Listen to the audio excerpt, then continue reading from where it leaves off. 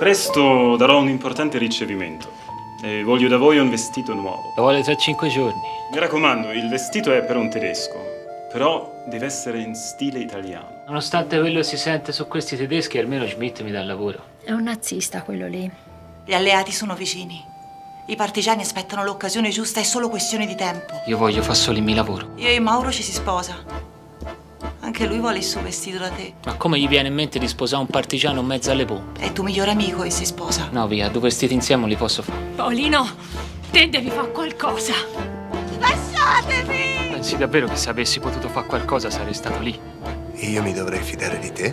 Di uno che fa i vestiti ai tedeschi?